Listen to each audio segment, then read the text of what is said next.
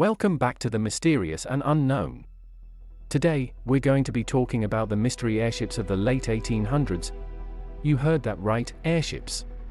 A century before the first successful manned flight by the Wright brothers, reports of mysterious airships were appearing in newspapers all over the world.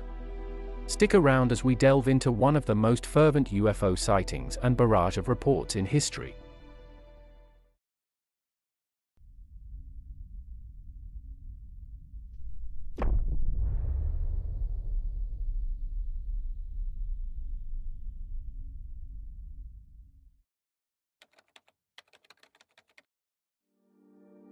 Mystery airships, or phantom airships, are a class of unidentified flying objects shrouded in mystery. Their existence was first brought to light by a barrage of sensational newspaper reports that swept across the western United States in late 1896 and early 1897. From this epicenter, their legend spread far and wide, eventually reaching every corner of the world.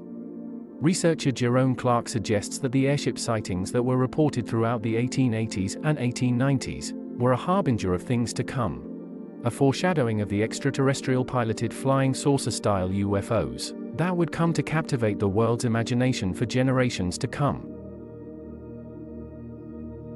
Reports of the alleged crewmen and pilots usually describe them as human looking, although sometimes the crew claimed to be from Mars. Some thought that the mystery airships were the product of some inventor or genius who was not ready to make knowledge of his creation public. However, those airships were far too advanced in the period. For example, Thomas Edison was so widely speculated to be the mind behind the alleged airships that in 1897 he was forced to issue a strongly worded statement denying his responsibility. At the time, there were numerous documented accounts of events that were rich in detail. These records provide valuable insight into the events that took place and are worth exploring. Let's examine some of the well-documented incidents from that time.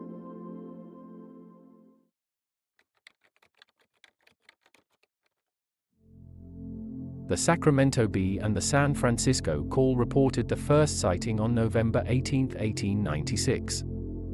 Witnesses reported a light moving slowly over Sacramento on the evening of November 17 at an estimated 1,000 foot elevation. Some witnesses said they could see a dark shape behind the light. A witness named Lowry reported that he heard a voice from the craft and saw a light was mounted on the front end of the airship. Some witnesses also reported the sound of singing as the craft passed overhead.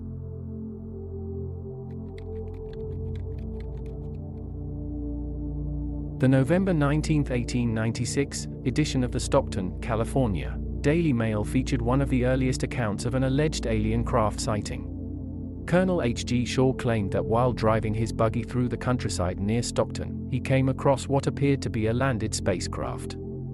Shaw described it as having a metallic surface which was completely featureless apart from a rudder and pointed ends. He estimated a diameter of 25 feet and said the vessel was around 150 feet in total length. Three slender, 7 foot tall, apparent extraterrestrials were said to approach from the craft while emitting a strange warbling noise. The beings reportedly examined Shaw's buggy and then tried to physically force him to accompany them back to the airship. The aliens were said to give up after realizing they lacked the physical strength to force Shaw aboard they supposedly fled back to their ship, which lifted off the ground and sped out of sight. Shaw believed that the beings were Martians sent to kidnap an Earthling for unknowable but potentially nefarious purposes. This has been seen by some as an early attempt at alien abduction. It is apparently the first published account of explicitly extraterrestrial beings attempting to kidnap humans into their spacecraft.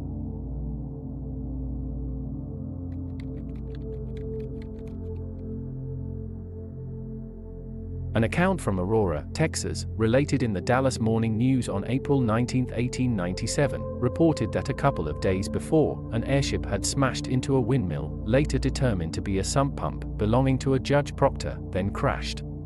The occupant was dead and mangled, but the story reported that the presumed pilot was clearly not an inhabitant of this world. Strange, hieroglyphic figures were seen on the wreckage, which resembled a mixture of aluminum and silver. It must have weighed several tons. In the 20th century, Unusual metallic material recovered from the presumed crash site was shown to contain a percentage of aluminum and iron admixed. The story ended by noting that the pilot was given a Christian burial in the town cemetery. In 1973, MUFON investigators discovered the alleged stone marker used in this burial. Their metal detectors indicated a quantity of foreign material might remain buried there. However, they were not permitted to exhume, and when they returned several years later, the headstone, and whatever metallic material had lain beneath it, was gone.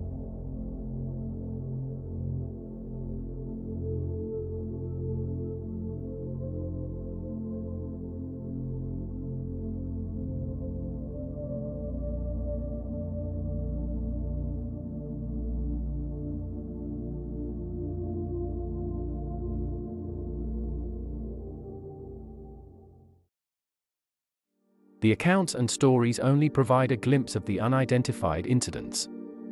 Numerous reports were made during that period, and each one has the potential to be developed into a separate video. So, what do you think about the mystery airships of the late 1800s? Let us know in the comments below. If you found this video interesting, be sure to explore one of our other videos on unexplained mysteries, as there's so much more to discover. Click on one of the videos, and as always, thank you for watching.